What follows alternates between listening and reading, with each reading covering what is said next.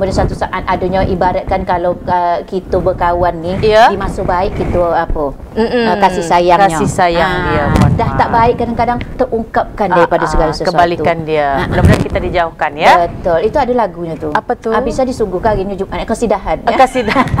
tak ada rendangnya. Ya, ya, tak ya. usahlah lagi ke. Ya, ya, ya, ya. Yalah cik Ah, ah. tuan dan puan kita nak menyuguhkan kabar ni ke. Betul ya. Puan Ah. Mai, ini terkait daripada peredaran obat secara ilegal Puan Mai. Ini ya. yang kita takutkan. Ah, Ah. Cita dan Puan ini Balai Besar Pengawas Obat dan Makanan Mm-hmm. BB POM Pekanbaru Cita dan Puan bersama tim gabungan ini mengamankan belasan ribu obat tanpa izin edar dari dua toko di wilayah Kabupaten Rokan Hilir. Nah, ternyata Encik Tuan dan Puan dari toko penyertaan obat-obatan Ya. tersebut Encik Tuan dan Puan ini bernilai lebih kurang 500 juta rupiah. Mak tak sedih Tak ya. sedih tu. Ya, macam mana kabarnya? Moh kita tengok.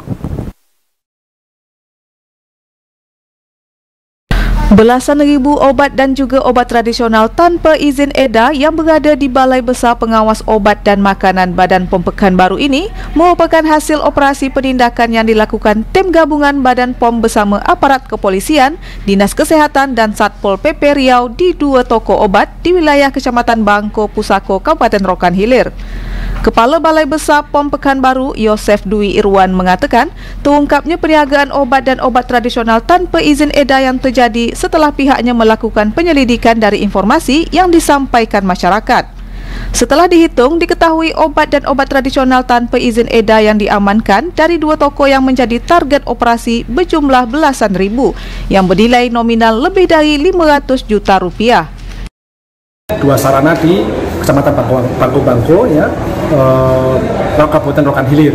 Memang ini sudah tindak sudah kita dalami selama kurang lebih setahun berdasarkan laporan masyarakat, hasil patroli cyber, ya kemudian juga hasil pengawasan. Dan ternyata dari dua sarana tersebut eh, yang diduga kuat menjual atau mendistribusikan produk ilegal ditemukan. Ya di toko yang pertama itu ada 245 item sebanyak 16.530 pieces obat dan obat tradisional tanpa izin edar dengan nilai ekonomi lebih dari 500 juta itu yang pertama toko yang kedua itu ada 85 item 1250 pieces dengan nilai ekonomi lebih dari 80 juta memang kalau dilihat dari ekonomi temuannya itu sedikit tapi ini kan dijual secara online dan disampaikan oleh eh, Bu Vera salah satu penindakan itu secara transaksi di online sudah mencapai angka 2 miliar. Ya memang dia variatif ya, ada gabungan antara yang legal dan ilegal. Tapi paling tidak bahwa nilai penjualan itu juga sudah mencapai angka yang tidak sedikit. Nah tentunya ini merupakan eh, tugas kita bersama bagaimana untuk pemberantasan ya produk ilegal.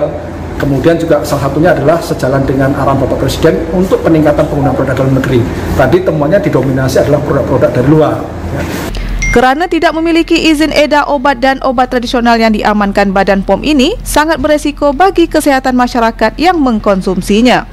Ahad Laila Isnin mengabarkan.